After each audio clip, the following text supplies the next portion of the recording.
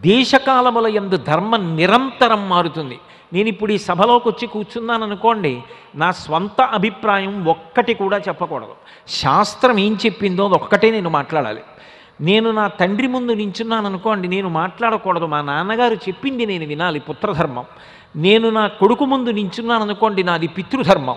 నేను ఏది ఆచరిస్తే నా కొడుకు నేర్చుకుంటాడో అదే ఆచరించాలి తప్ప పొరపాటున కూడా నా కొడుక్కి తప్పు అభిప్రాయం కలిగేలా నేను ప్రవర్తించకూడదు. అది నా పితృధర్మం. నా కూతురు ముందు నించున్నాను అనుకోండి పితృధర్మం. అదే నా భార్య ముందు నించున్నాను అనుకోండి నాది భర్తృధర్మం. దేశకాలముల ఎందు నిరంతరం మారిపోతూ ఉంటుంది ధర్మం.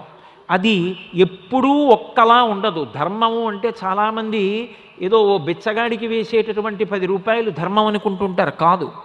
ధర్మము అనేటటువంటిది ప్రతి క్షణం మారిపోతూ ఉంటుంది నేను ఈ సభలో కూర్చుంటే నాదో ధర్మం. నేను వాహనం ఎక్కాను అనుకోండి వాహనం ఎక్కినప్పుడు నేను ఎవరితో ఎక్కువ మాట్లాడకుండా కూర్చోవాలి? నేను ఎవరి పట్ల గౌరవంగా ఉండాలి అంటే వాహనాన్ని నడిపేటటువంటి వ్యక్తికి ఎక్కువ ప్రాధాన్యత ఇవ్వాలి. ఇంత ప్రవచనం చెప్పొచ్చాను అన్ని వేల మంది కూర్చుని విన్నారు. నువ్వు విను ఓ గంట చెప్తాను అనకూడదు. అతను ఆ కారు డ్రైవ్ చేసేటప్పుడు అతని దృష్టి దాని మీద నిలబడాలి. అక్కడ నేను ప్రయాణం చేసేటటువంటి వాడిగా నియమం పాటించడం నా ధర్మం. ఎప్పుడు ఏ ధర్మం పాటించాలో ఆ ధర్మం పాటిస్తూ ఉండాలి. వర్ణమును బట్టి ధర్మం ఉంటుంది. యజ్ఞోపవీతం ఉన్నవాడిగా పుట్టాడనుకోండి యజ్ఞోపవీతం వేసుకునే అధికారంతో పుట్టాడనుకోండి మూడు పూట్ల సంధ్యావందనం చెయ్యాలి గాయత్రి చెయ్యాలి శాస్త్రం చదువుకోవాలి ఎంత దొరికితే అంతతో తృప్తిపడి లోకమునకు జ్ఞానం అందించడమే తన యొక్క జీవన ప్రయోజనంగా బ్రతకాలి. యతీనాం భూషణం జ్ఞానం సంతోషో హి ద్విజన్మనాం అంటాడు వ్యాసుడు దేవి భాగవతంలో. యతి ఎప్పుడు జ్ఞానము చేత రమిస్తూ ఉంటాడు. యోగరతో వా భోగరతో వా సంగరతో వా సంగవిహీన యస్యద్ బ్రహ్మణి రమతే చిత్తం నందతి నందతి నందత్యేవ. ఎప్పుడు జ్ఞానంలో రమించిపోతుంటాడు సంతోషో హి ద్విజన్మనాం యజ్ఞోపవీతం వేసుకుని మూడు కాలవల ఎందు సంధ్యావందనం చేసి వేదాధ్యయనం చేసినటువంటి వ్యక్తి ఎంత దొరికితే అంతతో తృప్తిపడి లోకమును ఉద్ధరించడానికి వేదం చదువుకునే అదృష్టం నాకు కలిగిందన్న ఆనందంతో బతకాలి. కాబట్టి సంతోషము అతనికి లక్షణంగా ఉండాలి.